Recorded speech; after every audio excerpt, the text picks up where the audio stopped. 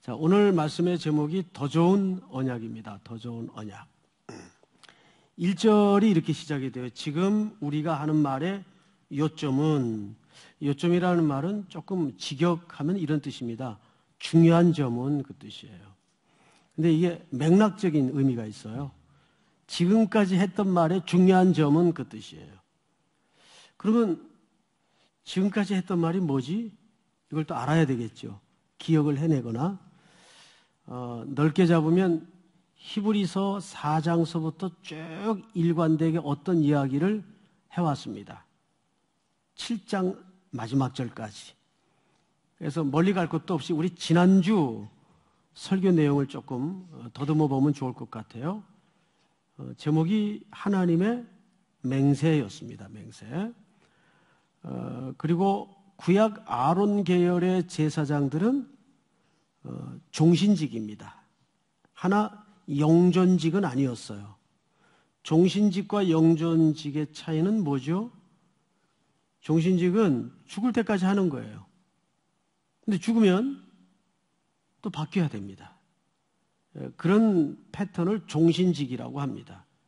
영전직은 죽음 없이 계속 영원히 하는 직분을 영전직이라고 하죠. 그래서 구약 아론의 계열을 따른 대제사장직은 자꾸 바뀌어야 돼요. 인간의 죄와 유한한 한계 때문에.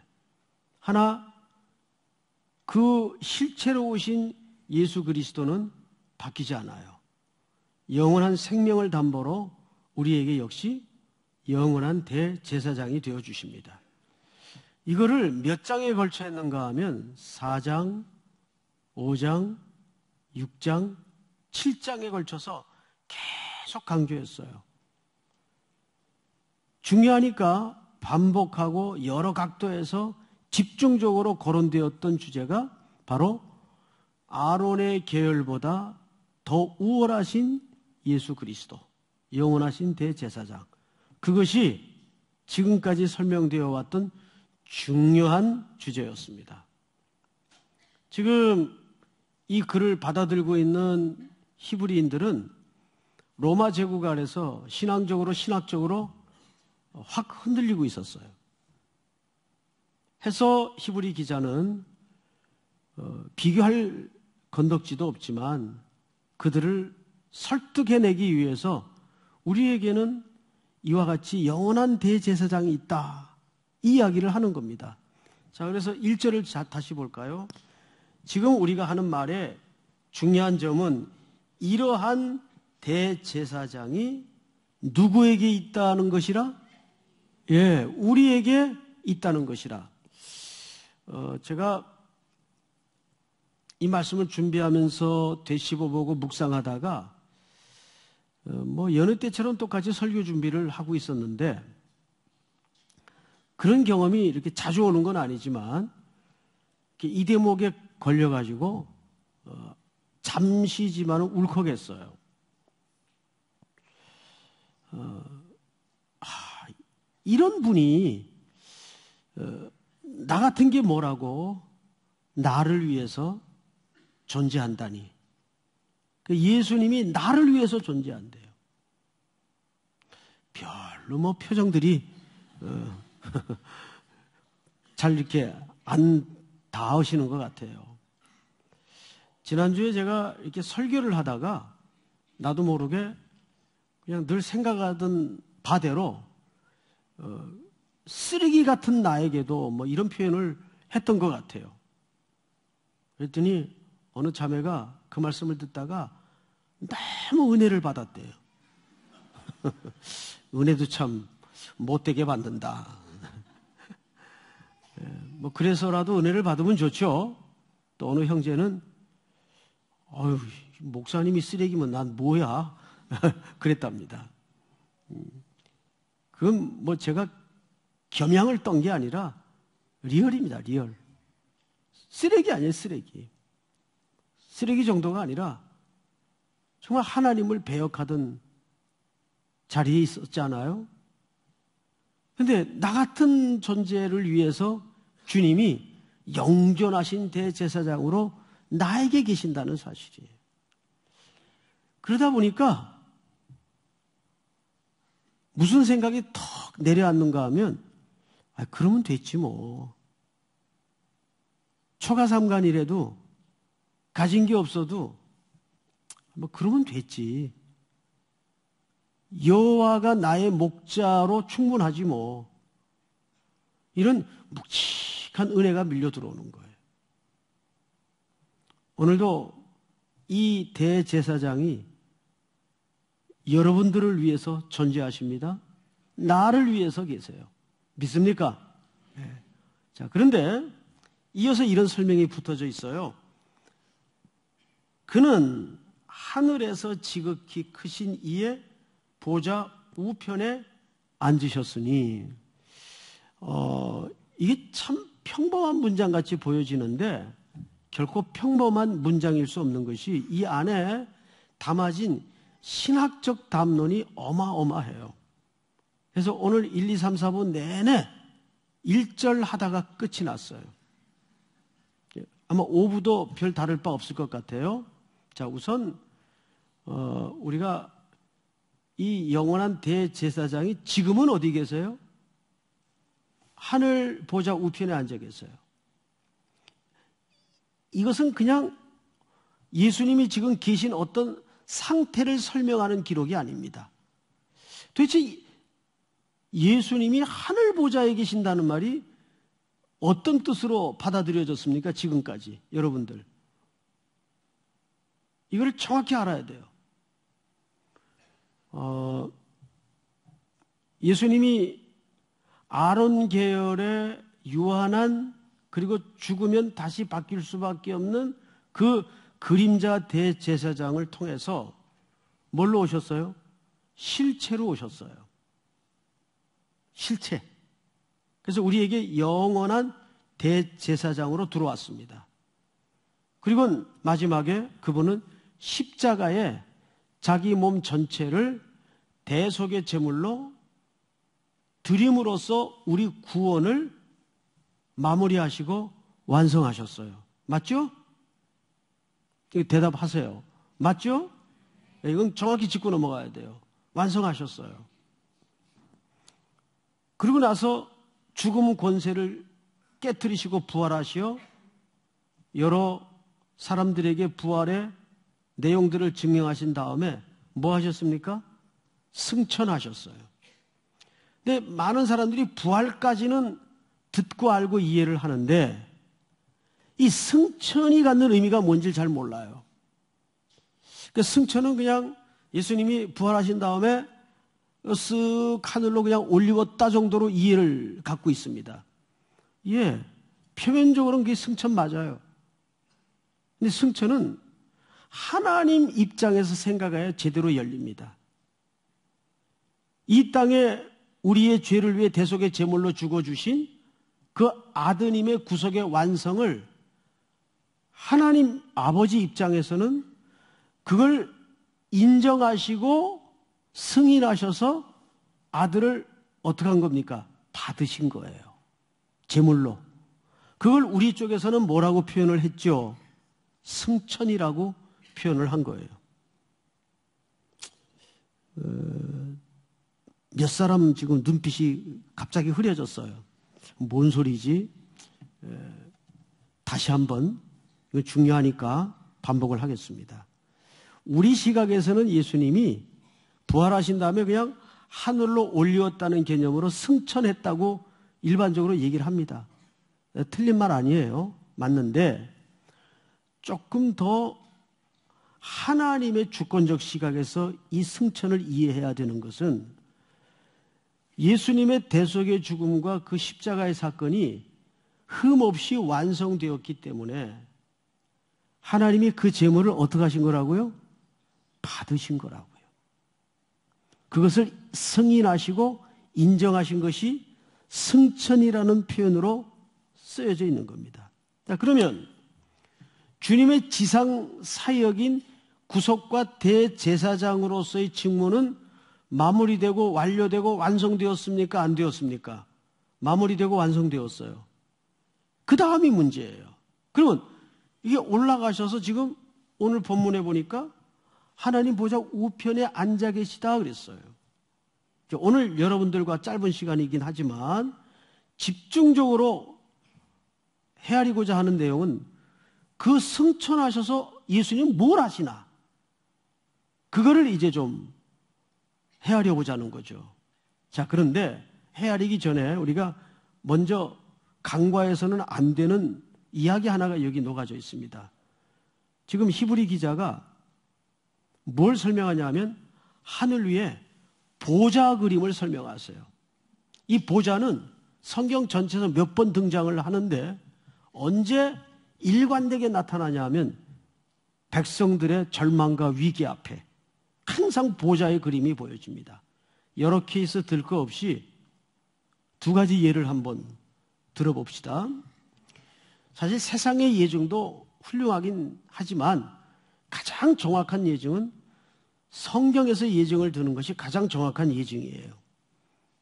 자, 반모섬에 유배되었던 요한. 반모섬에 유배됐다는 사실만큼 인생이 무기력한 것을 설명할 수 있는 방법이 있을까요? 섬이에요. 유배된 상태입니다. 아무것도 못해요.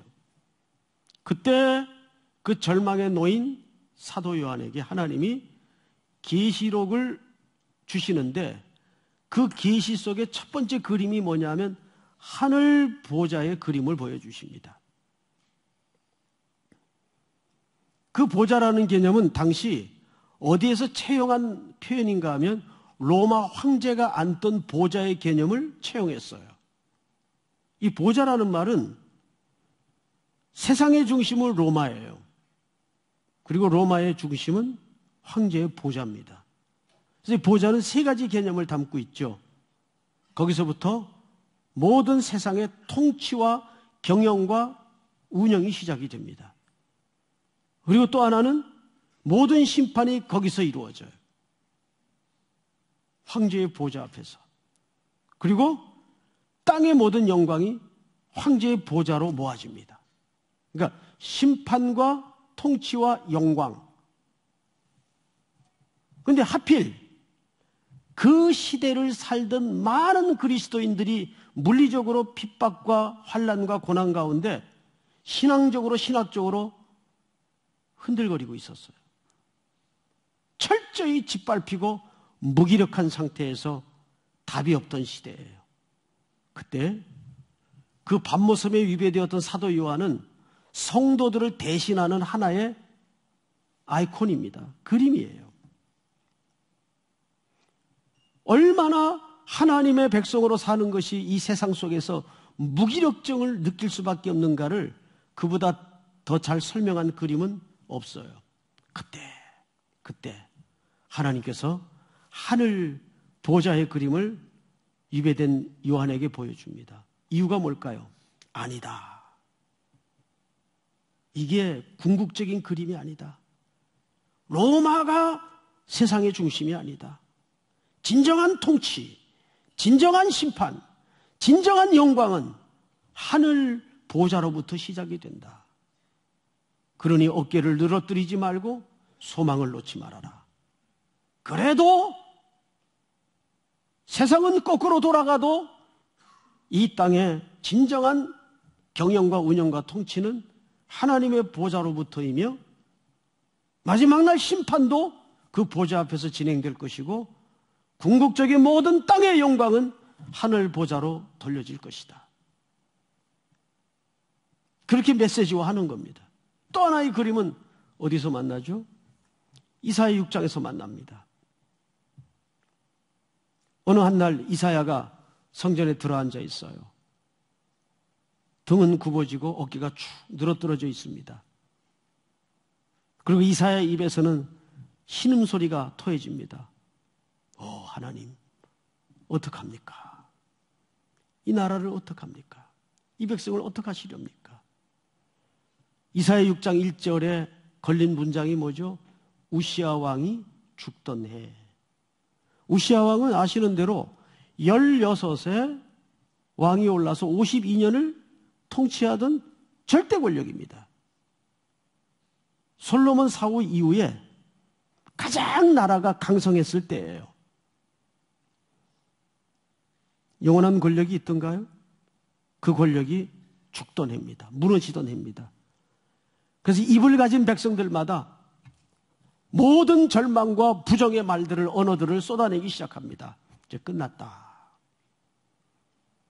사회적 현상을 봐도 사회 통계 수치를 봐도 이제 머지않아 아수르와 바벨론은 이 나라를 먹을 것이고 우리는 짐승들처럼 울부짖으며 거리로 개처럼 끌려다닐 것이다. 온 백성이 궁궐 안팎에 저주와 실망과 절망과 흉흉한 소문들이 돌아다니기 시작합니다. 그때 성전 안에 고요히 한 사람이 앉아 있어요. 이사야입니다. 그 이사야에게 하나님이 보여주신 그림이 뭐죠? 하늘 보좌예요. 근데 그 보좌에 앉으신 이에 옷자락이 지상 성전까지 가득하게 드리워져 있어요. 뭘 얘기합니까? 역시 같은 얘기입니다.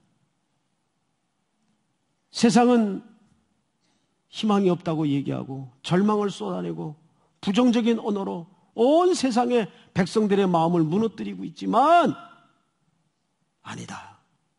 그것이 아니다. 여전히 이 땅은 하나님의 통치 아래 있고 운영 아래 있고 경영 아래 있으며 하나님께서 심판하시고 마지막 영광은 그분 보좌로 돌려질 것이다. 그걸 이사야에게 보여주는 겁니다. 그 환상을 보고서야 이사야가 처음으로 터뜨려냈던 고백이 뭐죠? 나는 입술이 부정한 자라. 입술은 뭡니까? 언어의 통로죠. 언어는 뭡니까? 모든 생각과 사상과 신앙과 사고를 담아낸 틀이 언어예요. 어디서부터 그 절망이 온 겁니까? 그들의 정신, 신앙, 생각, 가치관, 사고에서부터 절망이 온 거예요. 그걸 하나님이 보여주는 거예요. 똑같은 이치로 오늘 히브리 기자가 왜, 왜 그 하늘 보좌를 얘기합니까? 이유는 하나예요. 신학적으로, 신앙적으로 모세의 율법으로 다시 돌아가야 하나?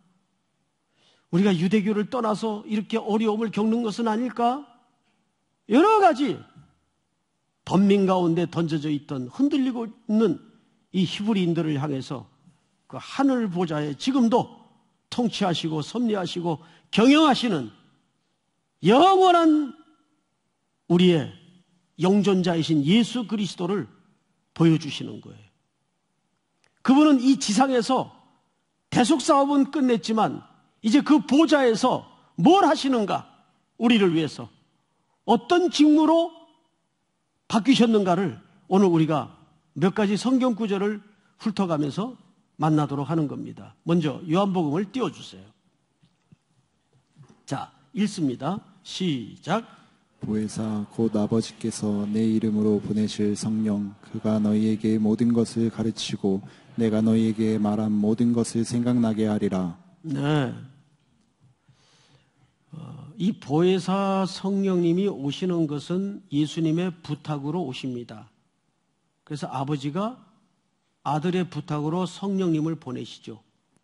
그래야 삼위 하나님의 구원 역사가 합작품이 되기 때문에 그래요. 근데 그 성령님은 오셔서 주로 하시는 일이 뭐냐 하면 우리의 구원을 위해서 이 진리를 열어주시고 가르쳐 주시고 깨닫게 하시는 역사를 해요.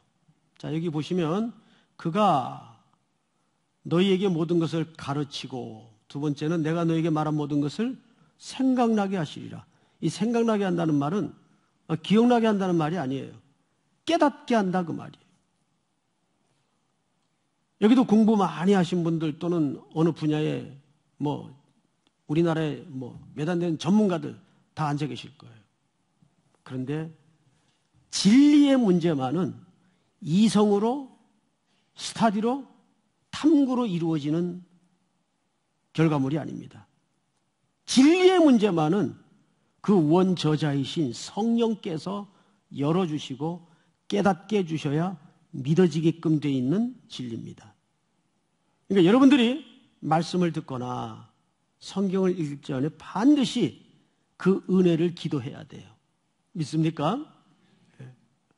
예. 그 은혜를 기도해야 돼요. 두 번째, 두 번째. 우리 로마서를 열어주세요. 로마서 같이 한번 읽을까요? 시작. 누가 정죄하리요 죽으실 뿐 아니라 다시 살아나신 이는 그리스도 예수시니 그는 하나님 우편에 계신 자요 우리를 위하여 강구하시는 자신이라. 아, 너무 담아진 내용이 크기 때문에 설명을 조금 어, 넉넉하게 드리도록 하겠습니다.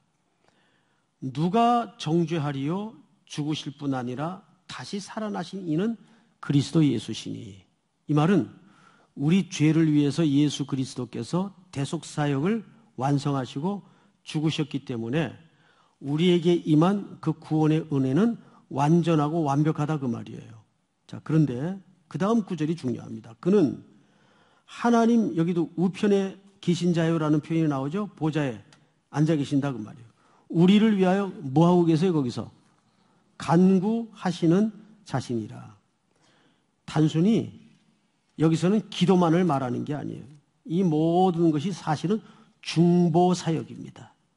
그러니까 엄밀한 의미에서 중보라는 개념과 중보라는 표현은 그리스도에게만 쓰여질 수 있고 해당되는 단어들이에요.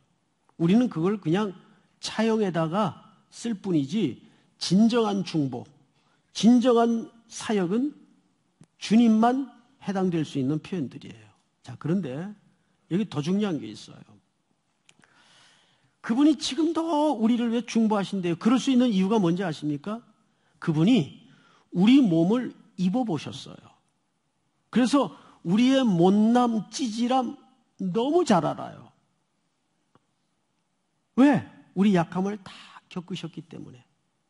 굶주려도 보시고, 고통도 겪어보시고, 속도 상해보시고, 탄식도 해보시고, 그래서 우리가 어떻게 질그릇처럼 깨지기 쉽고 부서지기 쉬운 존재인지를 아세요. 그래서 이렇게 기도하시는 거예요. 이거는 하나의 제가 상상력인데, 아버지, 지금 송태근이가 또 헤매고 있어요. 제 좀 붙들어 주세요. 아모기가 또 방황하고 있어요. 제 좀 놓지 말아 주세요. 끝까지 붙들어 주세요. 이런 모든 중보의 사역을 누가 하고 계신다고요? 예수님이 하고 계신다고요. 아버지 조금만 더 기다려 주세요. 그러면 이런 얘기를 듣다가 우리 속에 슬그머니 스며 올라오는 생각이 하나 있어요. 아, 그러지 말고 그냥 어차피 전능하신 분들이니까 그냥 팔목 비틀어 가지고 안바 걸어서 목조르기 해가지고 찍소리 못하게 그냥 뚝딱 만드시지 뭘 이렇게 길고 멀게 기다리면서 간구하시고 그런 과정 구차하게 왜 하시나? 저도 그런 생각을 했었어요, 사실은. 너무 이 연약함과 죄 가운데 놓여져 있는 게 너무 싫어서. 하나님 그냥 확 오셔서 저를 좀 어떻게 해주세요.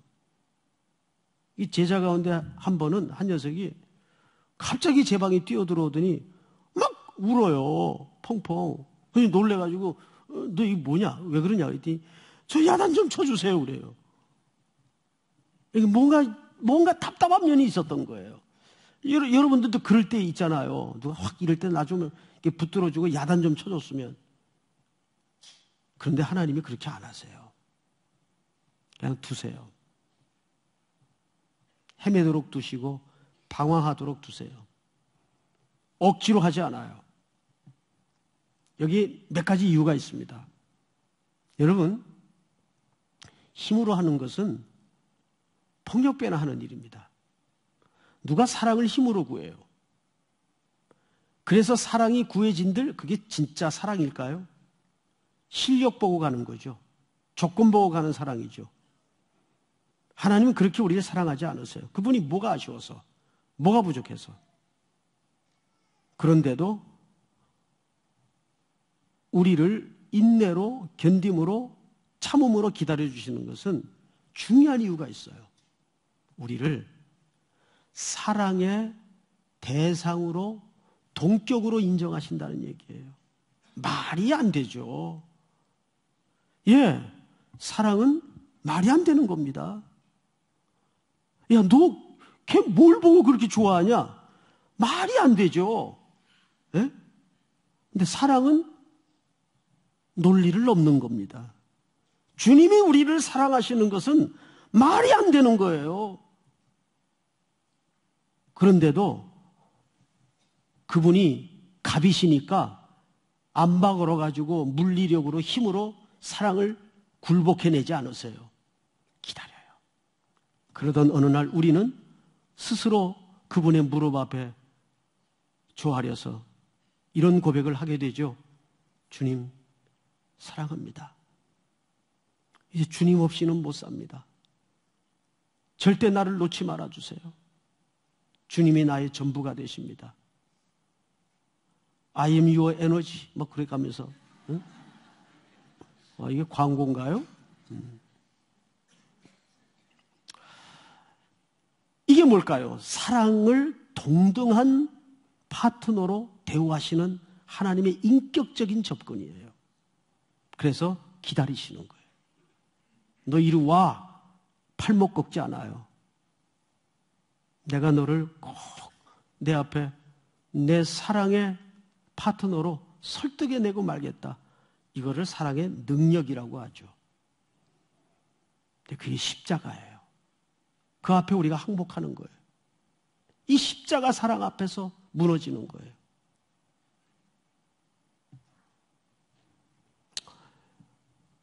우리 다음 성경 구절을 하나 또 볼까요? 베드로 전설을 한번 띄워주세요. 부당하게 고난을 받아도 하나님을 생각함으로 슬픔을 참으면 이는 아름다우나 자 여러분한테 한번 여쭤볼게요. 사람이 살면서 정말 부당한 일만 겪는다고 보세요? 나는 부당한 일을 안 합니까? 못지않게 많이 합니다. 그것은 사람이 어쩔 수가 없어요.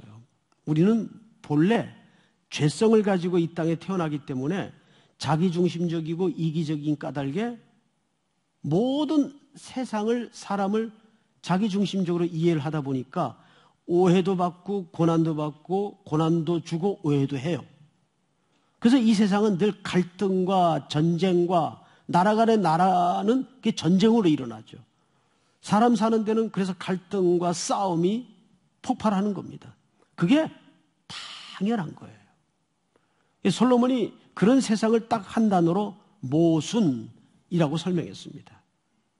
지난 금요 영성 집회 때 요셉 이야기를 좀 성도들하고 나누었습니다. 세상에 세상에 억울러 하면은 요셉만큼 억울한 사람이 있을까요? 형들한테 배신당해? 보디발 아내한테 배신당해? 감옥에서는 술 맡은 장관한테 깜짝같이 또 배신당해요. 나중에는 요셉은 또 형들한테 어떤 가정의 실체를 파악하고 알아내기 위해서 뭘 하죠? 음모를 또 뒤집어 씌워요. 그때 형들의 반응 기억나세요? 자기들이 억울한 누명을 뒤집어 쓰니까 그제서야 자기들이 요셉에게 한 짓을 기억해내요. 우리가 대가, 죄의 대가를 받는구나. 못된 짓 한 결과, 그거예요. 결국, 나중에는 요셉과 형들이 어떤 결말로 맞춰집니까? 용서와 사랑과 화해로 맞춰져요. 그러니까 이 세상에서 일어나는 폭발하는 모든 고난을 통한 인간과 인간 사이의 갈등들은 사실 무엇로 맞닿기 위한 하나님의 설치 작업입니까? 십자가로 맞닿기 위한 설치 작업이에요. 우리 같으면 그 고난을 그냥 그때그때마다 치워주시면 딱 좋겠죠. 그러면 사람이 깨닫질 못해요. 결국은 그런 고난을 헤쳐가면서 견뎌가면서 당해가면서 넘어가면서 우리는 점점 십자가와 맞닿게 됩니다. 오늘 베드로전서 다음 절을 볼까요? 부당하게 자 19절부터 읽겠습니다. 부당하게 고난을 받아도 하나님을 생각함으로 슬픔을 참으면 이는 아름다우나 20절 시작 죄가 있어 매를 맞고 참으면 무슨 칭찬이 있으리요 그러나 선을 행함으로 고난을 받고 참으면 이는 하나님 앞에 아름다우니라 여기 보세요. 죄가 있어 매를 맞고 참으면 무슨 칭찬이 있으리요? 그러나 선을 행함으로 고난을 받고 참으면 이는 하나님 앞에 어떤 상태라고요? 자, 이 아름다움이라는 표현이 추상적이죠. 아직은 이게 뭘 얘기하는지 잘 모르겠어요. 21절. 이를 위하여 너희가 부르심을 받았으니 그리스도도 너희를 위하여 고난을 받으사. 우리 억울할 거 있어요, 없어요? 예수님의 그 십자가의 사건이 누구 때문에 벌어진 사건입니까? 나 때문에. 그리스도도 너희를 위하여 고난을 받으사 너희에게 본을 끼쳐 그 자취를 따라오게 하려 하셨느니라.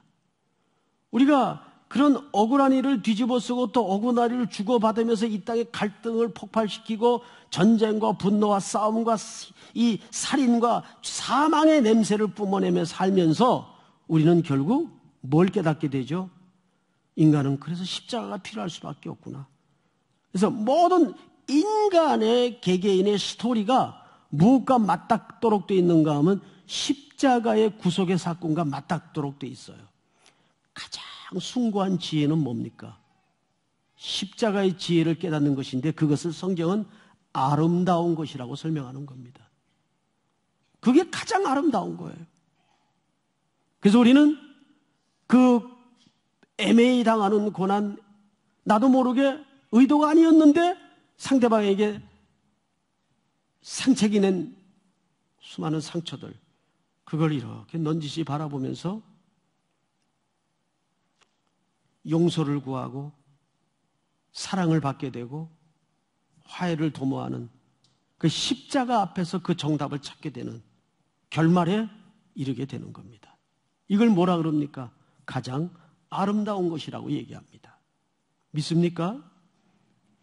이 일을 지금 예수님께서 하늘 보자 우편에서 중보의 사역으로 이 일을 하고 계시다고요. 또 그 길로 우리를 따르도록 부름 받으셨다는 말입니다.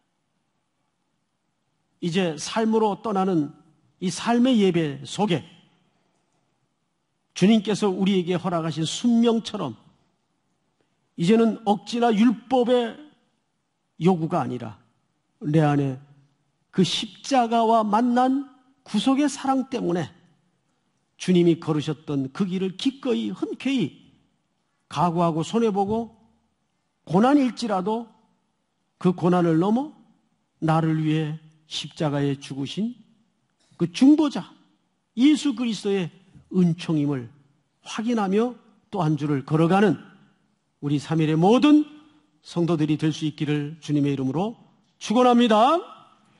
다 일어나십시다. 아버지 사랑 내가 노래해 사랑하는 형제자매 여러분, 예수 그리스도는 이 땅에 계실 땐 대속의 죽음으로 우리의 구속과 구원을 완성하셨습니다.